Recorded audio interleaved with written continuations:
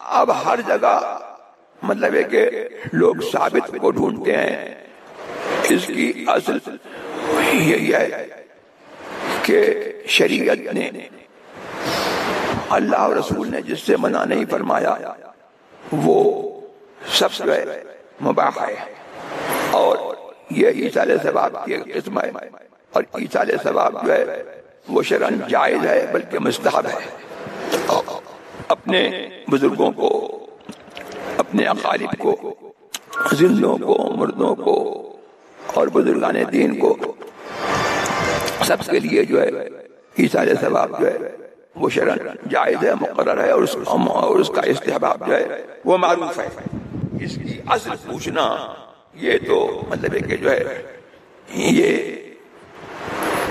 वहाबिया की आदत है कि हर जायज़ काम में मामूली से मामूली बात में वो पूछ पूछते हैं कि इसकी असल क्या है। और रसूल ने किया सहाबा ने किया ताबेन ने किया कि नहीं किया? सबसे बड़ा जवाब उसको उनके लिए यही है कि मना कहाँ आया है? इस पर मना कोई नहीं आया है। इसकी असल वही है। ये सारे जवाब जो है। नहीं तो ये मुशाबहत जी। वाली बात जो है अब यहाँ पर इस वजह से कि शियों ने बाईस तारीख को न्याज दिलाई। लिहाजा नाजायज है, ये दावा सही नहीं है। इसलिए कि तशब्बो जो है मुख्तार में फरमाया फ़ैन तशब्बा क्या है? फीमा, युकरा, वो भी फीमा कुफार से तशब्बो जो है, जो अफ़ाल मजमूमा हैं, जो उनके अफ़ाल खासा हैं, या जो अफ़ाल कबिया हैं, उनमें तशब्बो। ये नाजायज है। और उस सूरत में तशब्बो कि माजल्ला उन जैसा बनने का कष्ट करे तो इस इस कद से ही वो काफिर हो जाएगा। लेकिन कोई सुन्नी ये कद नहीं करता है कि हम शियों के जैसा बन रहे हैं। कि इतफाकिया तौर पर एक मुशाफात जो है, वो वाक़ हो गई कि वो भी नियाज दिलाते हैं और सुन्नी भी नियाज दिलाते हैं। तो नियाज दिलाना तो असल में हमारा हक है, उनका हक नहीं है नियाज दिलाना। इसलिए कि वो मुर्तद है, खारिज इस्लाम है। वो नमाज़ पढ़ते हैं हम भी नमाज़ पढ़ते हैं तो क्या इसके बदले इस वजह से जो है नमाज़ नमाज़ न जाए जाएगी? यही है कि उनके ये अफाल जो है, वो अफाल सूरी हैं। नमाज़ है, रोजा है, हज है, जक़ात है, इसी तरीके से नियाज वगैरह दिलाना। ये उनके अफाल सूरी हैं, इनकी इनकी कोई हकीकत नहीं है, हकीकत शरीय नहीं है। और मुसलमान जो है, इस्लाम के साथ, ईमान के साथ, हुजूर वसल्लम की मोहब्बत के साथ और पर ईमान रख करके जो है, इन अफाल को करेगा तो उसके अफाल जो अल्लाह के यहाँ कबूल होंगे। बाईस रजब जो है, बाईस रजब अमीर मुआविया रज़ी अल्लाह की वफात की तारीख है।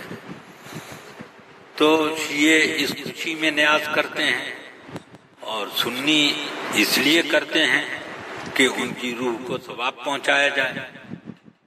और अब इसमें मुफ्ती शरीफ साहब ये कहते थे कि हज़रत इमाम जाफ़र सादिक रज़ी अल्लाह ने ये मुशादा किया कि तबर्रा करते हैं शियान अली हज़रत अमीर मुआविया पर। तो उन्होंने इस फातह को कायम किया ताकि उनके ये तबर्रा की आदत ख़त्म हो। अमीर मुआविया ही के ईसाल सवाब के लिए। अगर इसकी असल है, तब तो बहुत ठीक है। अगर इस बात की असल ना हो तो जब भी अमीर मुआविया के नाम को भी शरीक करने में रद्द रफजा तो हो ही जाता है। इस फातह में जब उनका तारीख उनकी तारीख विसाल है ये। ये बहुत अच्छी बात कही अल्लाह ने। अपनी नियाज में इस तौर से आप फ़र्क कर लीजिए कि इमाम जाफ़र सादक के साथ हज़रत अमीर महाबिया का नाम भी आप ले लीजिए और उनके लिए भी साहब कीजिए। तो राबियों से इम्तियाज़ भी हो जाएगा और गलत भी हो जाएगा। फिर राबियों में कुछ और भी आदतें हैं कि जिस जगह पकेगा, उसी जगह न्याज होगी, उसी जगह खाया जाएगा, औरत उसको ना खाए। ये सब जो शर्तें हैं, ये सब मरदूत शर्तें हैं। इनसे हम लोगों को इज्तनाब रखना चाहिए। ताकि अपना तशखस उनसे मुमताज़ हो जाए। लेकिन हुजूर ये सुन्नियों में भी कुछ जगह ये राय है। हाँ तो उसकी मुखालफत कीजिए ये तो गलत है। गलत है। उसी जगह न्याज होगी उसी जगह खाया जाए उसी जगह हाथ धोया जाए बाहर उसका एक जर्रा भी न जाने पाए ये सब राबजियों की नकल है। औरतें उसमें न खाएँ ये सब भी बिल्कुल बेअसल और राबजियों की नकल है। इससे इज्तनाब कीजिए। हाँ जरा मुझे भी सुनाइए। अल्लाह क्या करें ज़ोर से मैंने ये अर्ज़ की कि राफदियों में ये रिवाज है। कि जिस जगह पके उसी जगह न्याज हो उसी जगह खाया जाए उसका एक टुकड़ा भी बाहर न ले जाया जाए। ये सब चीज़ें मैं कहता हूँ, बेअसल हैं। और ये गलत है, इसमें सुन्नियों को राबजियों की मुखालफत करना ज़्यादा मुनासिब है। तो तशब्बो खत्म हो गया। ये मेरे ध्यान में नहीं चाहिए रस्म रिवाज जो है, अल्लाह मैंने बताया, इन खास रस्म रिवाज से एतराज़ करना चाहिए।